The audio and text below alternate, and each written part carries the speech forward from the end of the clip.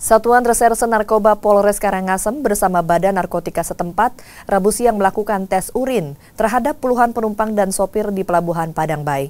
Dari sekitar 20 penumpang dan sopir yang dites urin, satu orang di antaranya terindikasi positif menggunakan narkoba.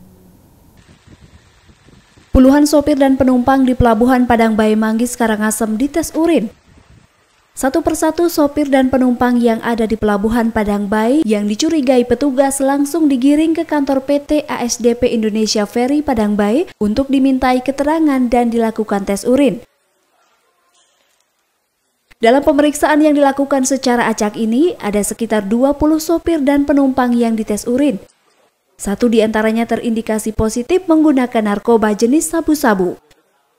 Namun setelah dilakukan penggeledahan, petugas tidak menemukan barang bukti apa pun dan untuk sementara sopir asal Jawa tersebut akan direhabilitasi di rumah sakit. Positifnya dari Jawa itu uh, yang dikonsumsi adalah jenis sabu-sabu. Uh, sempat menggeledah dan kita geledah semua yang bawaannya ya dalam kendaraan maupun uh, di badannya tidak ditemukan barang yang terindikasi narkoba. Kegiatan seperti ini akan gencar dilakukan hingga beberapa hari ke depan untuk menekan peredaran narkoba antar pulau menjelang Hari Raya Natal dan Tahun Baru. Eka Winarta, Kompas Dewata